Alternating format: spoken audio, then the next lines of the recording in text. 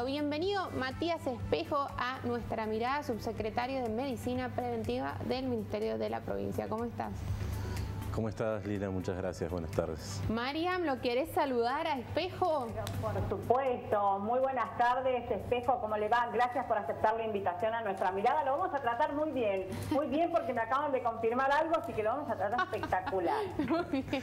Bueno, si muchas gracias. podemos confirmar después, es que para nosotros es una bomba la invitada que viene el próximo martes. Esas cosas pasan en este programa al aire. Bueno, Espejo, queremos saber la situación sanitaria de la provincia. Bueno, una situación compleja, no escapa la lógica del país, de la región y del mundo.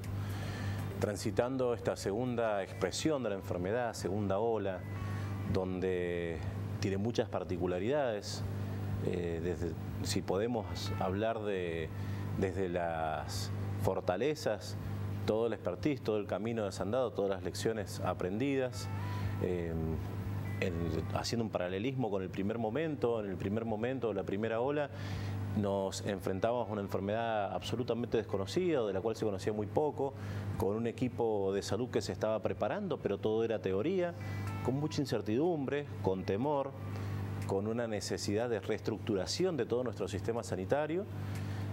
Y, a diferencia de este momento, una sociedad eh, que tenía una escasa o nula movilidad social digo, eh, transitaban únicamente los estratégicos o los esenciales, había habido una reconversión o una reprogramación de muchas acciones en salud que nos permitían dedicarnos no exclusivamente, pero con, fuerte ahínco lo que iba a ser la asistencia de la patología COVID en, en todos los, en todas las etapas de, del abordaje, entiéndase en la prevención, en el diagnóstico precoz y oportuno, en la asistencia y finalmente pensando a futuro, en aquel momento para nosotros un futuro muy lejano que tenía que ver con la inmunización que gratamente nos sorprendió antes de terminar el 2020, comenzando eh, a operativizar este, esa, acción fundamental de salud. Eh, la gran diferencia en aquel momento es que si bien hoy contamos con un equipo de salud eh, fortalecido en todo sentido, nunca dejar de, pensar que cuando hubo que hacer frente en un primer momento recibimos eh, a nivel general la Argentina un Ministerio de Salud devastado, un Ministerio de Salud degradado a Secretaría con desfinanciamiento de todos los programas nacionales que nosotros afortunadamente en la provincia por tener una, administración ordenada, y responsable y por indicación del gobernador y la ministra se fortaleció, contábamos con una infraestructura eh, sanitaria muy importante, con un nivel de equipamiento muy importante, pero siempre pensando en que la limitante es el recurso humano. En esta segunda ola ese sistema ha sido fortalecido, el equipo de salud tiene una experiencia muy importante y con resultados que verdaderamente de los cuales estamos orgullosos pero la limitante sigue siendo que el recurso humano es exactamente el mismo, que hace más de un año que está haciendo lo mismo, que hemos ido reconvirtiéndonos y pasando por diferentes etapas. Digo hemos porque nos ha tocado hacerlo no solo desde la gestión, sino también desde el asistencialismo. En lo personal, por mi especialidad, yo he continuado haciendo terapia intensiva COVID desde el primer momento y es un recurso humano que es humano, que nos cansamos, que muchos se enferman, que necesitamos descanso, que tenemos como fortaleza que afortunadamente hoy más del 90% de nuestro equipo de salud cuenta con una inmunización completa, pero como debilidad una movilidad social muy importante que hace que además de dedicarnos a la asistencia de la patología COVID, debamos continuar asistiendo a todo paciente que se enferma de otras cosas que no son COVID y que también requieren cuidados críticos y que también requieren diagnóstico de certeza y oportuno, que también requieren prevención. Entonces los esfuerzos se ven verdaderamente doblegados y el sistema sanitario lógicamente tiene un desgaste propio con muchas bajas, con un porcentaje muy importante de compañeros del sector de la salud que están haciendo uso de la licencia COVID, que es un derecho y que también es una estrategia. Eh, entonces verdaderamente es una situación compleja. Y que vemos muchas veces eh, se nota como un esfuerzo denodado por un sector que es este sector de la salud y hay muchos sectores que han acompañado en diferente medida y otros que, diferente, que directamente no han acompañado. Enseguida abro el juego, pero ahí eh, estás haciendo mucho hincapié en el tema de la circulación de, acá en la provincia. ¿Ya le propusieron al comité COVID esto de circular conforme a los, al término del DNI? Han habido múltiples planteos, múltiples estrategias. Si uno ve la situación con una mirada estrictamente sanitaria, nosotros quisiéramos que no circule nadie. Ah, entendemos que es absolutamente imposible, entendemos que hay múltiples, múltiples actividades que hacen al desarrollo de la provincia, al desarrollo de la comunidad y que son absolutamente necesarias. Vemos con mucha preocupación que hay actividades que no son esenciales, que es cierto que tienen un impacto en el motor económico de la provincia, pero que no son esenciales y que si ponemos en la balanza, para poder desarrollarlas, hace falta materia prima y producto que muchas veces es aportado justamente por el capital humano y que para poder desarrollarse necesitan de ese capital humano y que si la situación sanitaria es mala o extrema, ese capital humano no va a estar porque se va a enfermar y muchos van a fallecer. Entonces vemos con mucha preocupación y permanentemente se, se, trata en la mesa del Comité COVID buscar el equilibrio entre las actividades que son verdaderamente esenciales, la manera de protegerlas y de cuidarlas al máximo y ver que hay actividades que no son tan esenciales, buscar cuál es la estrategia para poder disminuir la circulación de las personas en ese sentido sin que el impacto socioeconómico y sanitario Pero ¿Hay posibilidades de que se lleve a cabo una restricción así? ¿Salir con...? Eh, esto es momento a momento, día a día. Ustedes vieron que el 4 de abril el gobernador de la provincia, en consonancia con el, con el presidente de la Nación, tomaron acciones, eh, colocaron algunas restricciones, muchas de las cuales ya estaban vigentes, pero por diferentes razones, producto de una buena situación sanitaria, eh, por así decirlo, se habían ido dilatando sus controles o su cumplimiento. Hicimos un análisis pormenorizado y cada uno de, los intervinientes en, en estas actividades vieron dónde había mayor vulneración de estos protocolos o incumplimiento. Y la conclusión es que fundamentalmente se daban en actividades que no son del todo esenciales. Por eso se colocaron restricciones o se agudizó el control en las mismas. Y ahí viene siempre eh, el reclamo, pero no controlan nada. A ver, es muy importante entender que hay tres líneas básicas o fundamentales de control. La primera y fundamental, la más importante, es el autocontrol. Si permanentemente se insiste a la sociedad de limitar la circulación para las cuestiones que son verdaderamente necesarias, que se use el barbijo, que se respete la distancia social, que se ventilen los ambientes, eh, que se laven las manos, que se desinfecten las superficies, es menester de nosotros, de todos y cada uno de nosotros poder cumplirlas. Porque además es la forma de prevención y es la vacuna más eficaz más barata y al alcance de absolutamente todo el mundo. La segunda línea de cuidados o de control tiene que ver con estas, eh, los diferentes productores, ya sea de servicios o de productos, vale la redundancia. Eh, hacer cumplir los protocolos que oportunamente fueron presentados, elaborados, reestudiados y finalmente aprobados para poder desarrollar esa actividad, ellos deben constituirse en un ente de control, yendo a la práctica. Eh, carnicería. ¿Por qué estoy atendiendo sin barbijo o permito que dentro del espacio hayan 20 personas cuando inicialmente presentaste un protocolo donde no habían más de tres personas por turno? Y finalmente, la tercera línea de control es donde el Estado debe ser fuerte con su capacidad de ente rector y su poder de policía y hacer que cada una de las actividades habilitadas estén supervisadas por inspectores habilitados por el Estado. Digo Estado municipal, provincial y nacional. Si no parece como que es una suerte de que todo recayera estrictamente en la administración central provincial, cuando verdaderamente, primero nosotros como individuos, segundo los productores de los servicios o de los productos y finalmente el Estado con su poder de policía, su ente y su capacidad de regulación de las actividades. María. Doctor Espejo, hoy la provincia de La Rioja, la vecina provincia de La Rioja, confirmó que está circulando la cepa de Manaus, la cepa de Río de Janeiro y la cepa británica. ¿Es posible, doctor, teniendo en cuenta la cercanía, ejemplo, teniendo en cuenta de que muchos riojanos vienen y están en Valle Fértil, bueno, teniendo en cuenta la cercanía, ¿es posible que estas cepas ya estén circulando aquí en la provincia de San Juan? Nosotros estamos muy expectantes de las muestras que ya fueron remitidas oportunamente la semana pasada al Instituto Malbrán. Siempre recordar que es el Instituto Malbrán eh, quien tiene la, potestad y la capacidad para poder hacer el análisis, puesto que eh, es algo muy técnico, pero una de las tantas cuestiones que deben desarrollar son líneas de cultivos de virus para poder fehacientemente certificar las diferentes variantes, además del estudio de biología molecular. La verdad que nosotros no podemos aseverar que esa situación esté pasando en la provincia, pero tampoco se puede negar categóricamente. Y esto lo digo porque hemos visto que el aumento de casos ha sido absolutamente desproporcionado.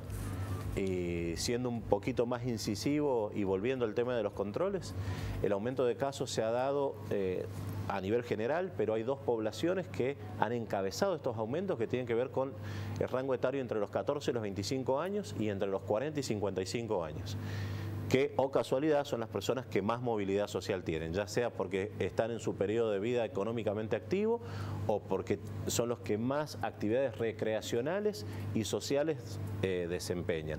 También, en concomitancia, se ve que en las internaciones en área crítica, que es uno de los, de los factores eh, más sensibles al momento, el porcentaje de personas y el rango etario ha cambiado absolutamente. En la primera ola, mayoritariamente internamos personas mayores de 70 años, con múltiples comorbilidades. Hoy los mayores de 70 disminuyeron, menores de 40 años, que en la primera ola prácticamente no habíamos tenido, están rozando el 10%, lo cual es muchísimo, y personas entre 40 eh, y 60 años son el 40% más, lo cual habla de que hay mucha movilidad social, que eh, el virus sin ningún lugar de dudas tiene una capacidad de virulencia o de, o de agresividad muy importante y de transmisión también, y lo cual nos hace pensar fuertemente que hay circulación de otras variables. Ahora, uno lo piensa eh, como persona, como profesional y, como integrante del ministerio. Ustedes recuerdan que la primera, en la primera ola había una fuerte insistencia de diferentes sectores de decir, ¿cuándo confirman la circulación viral comunitaria? Hay circulación viral. ¿Y qué hacía la sociedad en consecuencia? Poco, nada. Lo mismo nos está pasando hoy. Se guardan los datos, no dicen que hay circulación. No lo decimos porque no lo tenemos confirmado. Pero en consecuencia, ¿qué está haciendo la sociedad para evitar sufrir las consecuencias brutales que tienen algunas de estas variables. Poco y nada, por eso insistimos, la necesidad como personas, como seres humanos, como trabajadores de la salud y como parte del equipo de gestión de la pandemia, de pedir encarecidamente al resto de la sociedad que nos acompañe en este momento tan complejo para la provincia y para la población mundial. José. Sí, doctor, primero que nada saludarlo este, y preguntarle, em, se, ha leído mucho en, esta, en este último mes o mes y medio de que algunos asesores del gobierno nacional eh, eh, recomendaban cerrar de una manera muy estricta eh, todas las provincias durante 15 días. Durante esas 15 días estar como se estuvo en marzo del año que viene.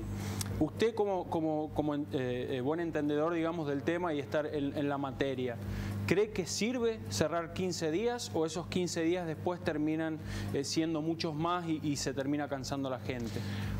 Entendemos que hay una situación socioeconómica muy compleja, una situación sanitaria muy compleja también, y te vuelvo a decir lo mismo, José, si uno lo piensa estrictamente desde el sector de la salud, sería fantástico tener 15 días cero actividad, porque verdaderamente entendemos que el impacto eh, en la disminución de los casos sería inmediato. El tema es que hoy nos enfrentamos o estamos transitando un momento donde la realidad socioeconómica no sé si lo admite, no sé si lo permite.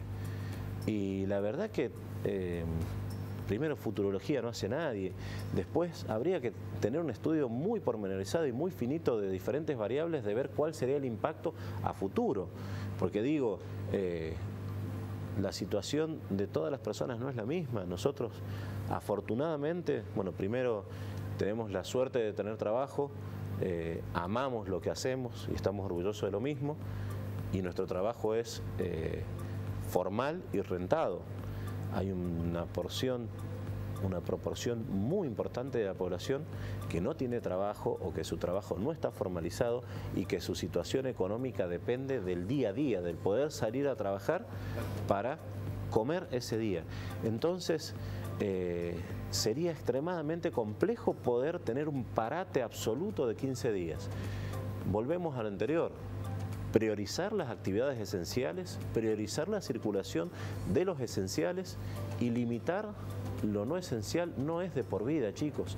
Son dos semanas, tres semanas. Nadie se va a morir por no ir al club durante tres semanas, por no jugar a la pelota, por no jugar al rugby, por no juntarse en la casa de un amigo o, por salir de noche. Eh, si lo continúan haciendo y sin tener ningún tipo de apego a las medidas de prevención, seguramente la vamos a pasar muy mal, porque no es que uno la pasa mal, la pasamos todos mal, porque el impacto es integral y es global. Le consulto al doctor Matías, ¿cómo estás? Buenas tardes. bueno, eh, apelando al conocimiento mutuo que tenemos ya de hace mucho tiempo y a tu capacidad, apelo a tu respuesta en relación a esto. Fue noticia a nivel mundial ¿eh? la enfermedad del presidente de la Nación durante la Semana Santa.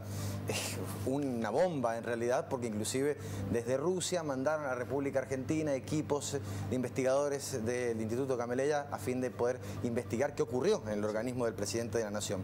Digo, ese, esa misma tipología de situación aquí en la provincia de San Juan, ¿cuán frecuente es, teniendo en cuenta que esto se va a hacer inclusive un poco más frecuente a medida que vayamos avanzando con la vacunación total de la población? Y la otra consulta que está intrínsecamente ligada a esto eh, tiene que ver con la cantidad de gente que vuelve eh, a infectarse que no ha recibido ¿eh? la inmunización. ¿Tienen esos números? ¿Hay un promedio de la población? ¿Hay un número absoluto sobre el tema?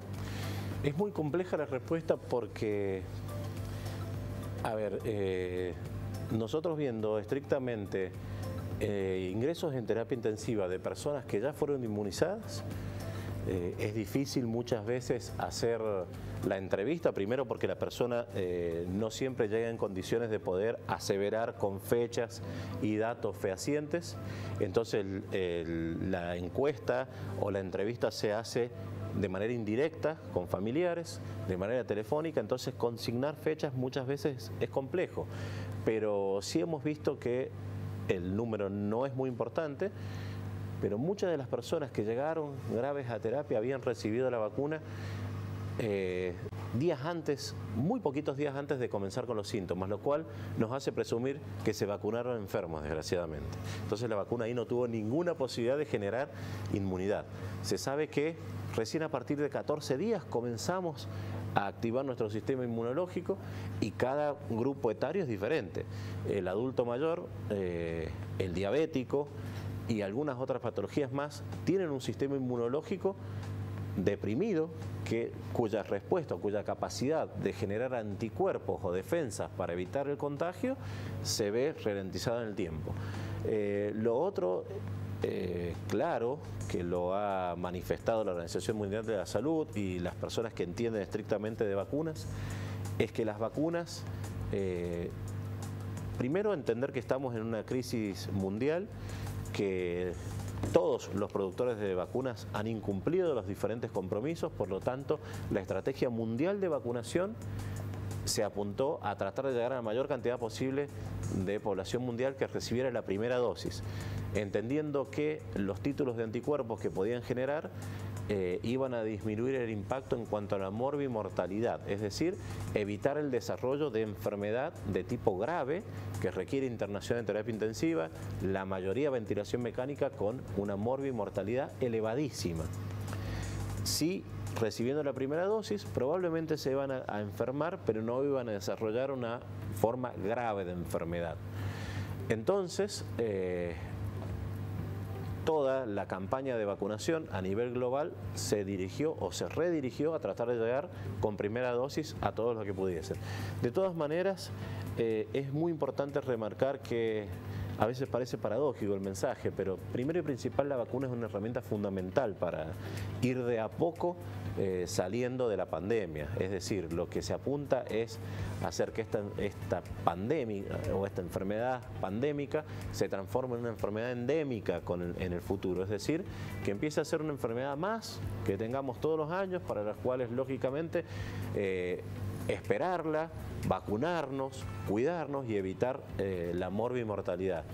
Pero hasta que no se alcance un porcentaje muy importante de la población mundial inmunizada, eso no se va a lograr. Por lo tanto, la vacuna no resuelve el problema ya, pero sí trabaja en el mediano y en el largo plazo para que la enfermedad pase a ser endémica.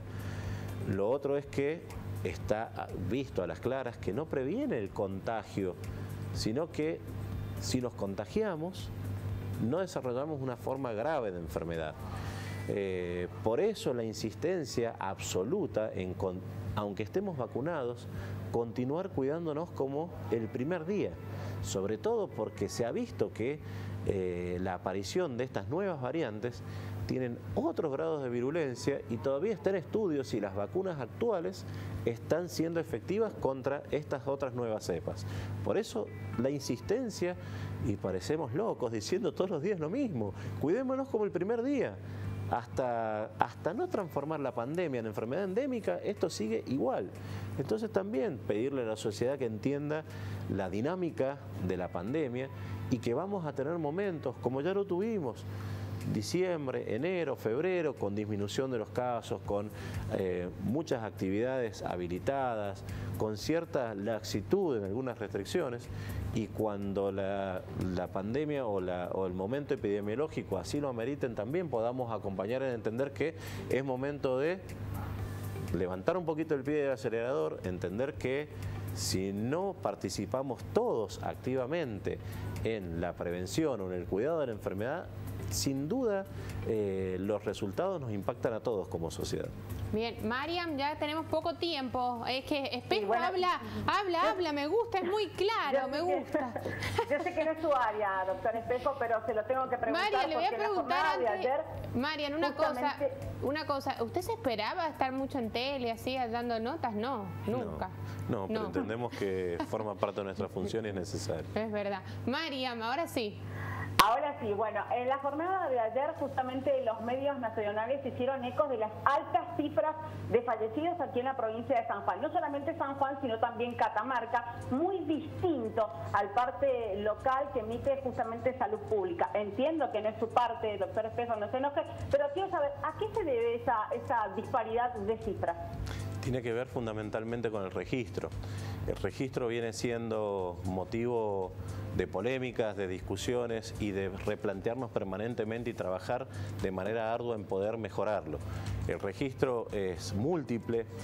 Eh, primero, aclarar que el Ministerio de Seguridad de la Nación eh, utiliza estos datos siempre sacando información de un sistema integrado sanitario informático y de denuncia obligatoria que es el sistema CISA que como otras tantas cosas que ha provocado la pandemia, hace que hoy sea un sistema obsoleto, porque tiene una carga extremadamente lenta, porque tiene que tener, eh, cada persona para ingresar en el mismo tiene que tener un código validado, mantenido en el tiempo, permanentemente actualizado, porque tiene múltiples pestañas, porque tiene múltiples efectores y porque en definitiva la carga se hace extremadamente lenta. Por lo tanto es un sistema obsoleto que no es interoperable con los sistemas informáticos epidemiológicos de diferentes jurisdicciones.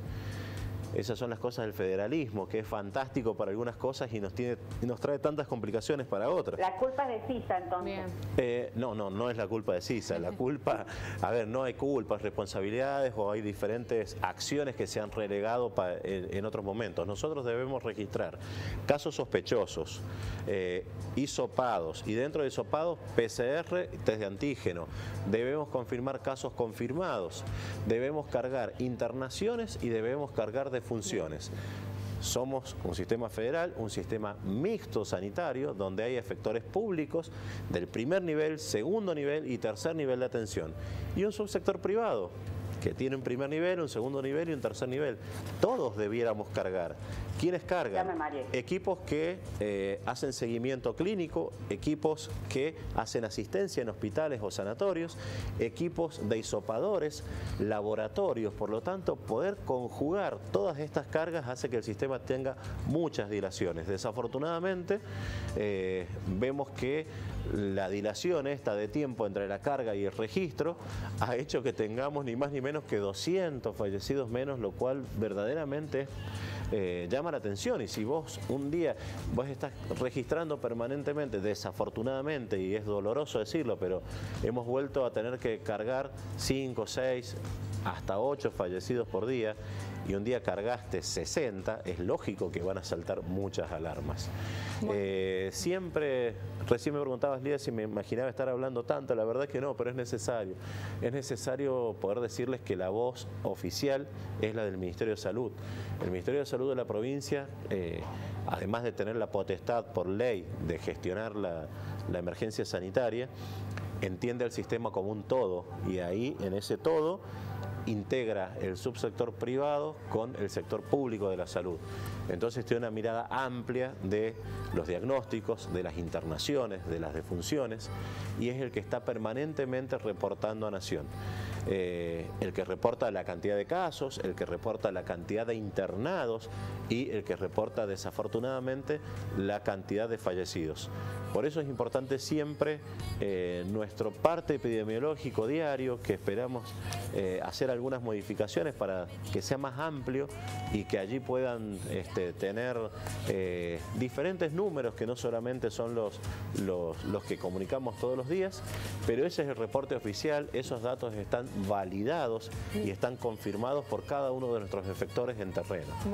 Así que bueno, esperamos poder comunicar mejor esta situación. Gracias Matías, se me va el programa, te agradecemos la invitación y el espacio.